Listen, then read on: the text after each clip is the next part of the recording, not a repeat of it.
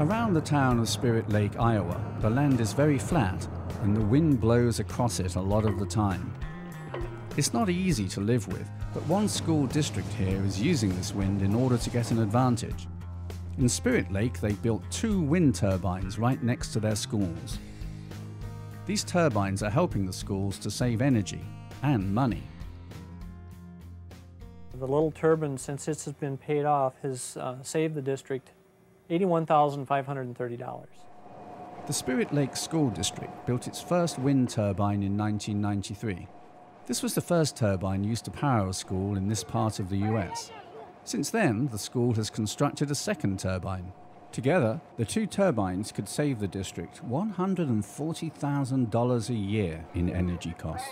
This amount of money is very impressive, but it's even more impressive if it's explained in a different way. Well, it will mean anywhere from two to three teachers, which is very important at a time right now. From the inside, it's clear just how big the turbines really are. This turbine stands 180 feet to the hub height the turbine is held in place by steel rods that go 25 feet down into a solid foundation. What type of a wind could this withstand? Uh, it's rated to stand up to 130 mile an hour winds. The strength of the turbines is especially important in a place where tornadoes can and do occur. In extremely strong winds, the huge blades of the wind turbines simply shut down or stop working. The turbines are also very efficient at using the wind. They'll produce energy in winds of just 8 miles an hour. The smaller turbine sends its power directly to the school itself. The larger turbine sends its power to the local electricity grid. There it can be used by the power company. This little school district is able to sell the extra energy that the turbines produce. The schools aren't the only ones who are making money in the energy business. In the countryside south of the Spirit Lake schools, more turbines stand near the big silos on the local farms. In this area, 65 farmers have recently allowed energy companies to build wind turbines right next to their fields. Now farmers can make money from the wind, just as they do from selling their crops. Farmer Charles Goodman thinks he'll make an extra $6,000 a year from the three turbines on his farm. So when you see the wind kicking pretty good like it is, that's money in your pocket, right? I smile all the time when the wind's blowing like this. This piece of the Iowa countryside is just 27 miles long, but it now has 257 wind turbines.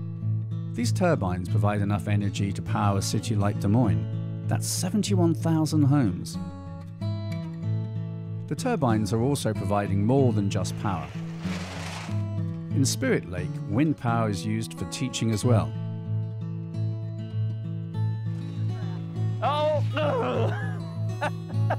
Physics teacher Jan Beloit can't imagine why schools wouldn't use wind power. When I talk about force and energy and electricity, they see that uh, we're producing it right here. The teachers here encourage students to keep detailed records. They write down the amounts of fossil fuels, such as coal, that are no longer needed for energy for the school. We're talking tons of carbon dioxide. We're talking tons of sulfur dioxide. We're talking hundreds of trees. So, you know, it's not just a small thing. In this part of Iowa, people are using wind power to earn money and to learn about saving the environment. The people of Spirit Lake are using the power of the wind to ensure a better future for everyone.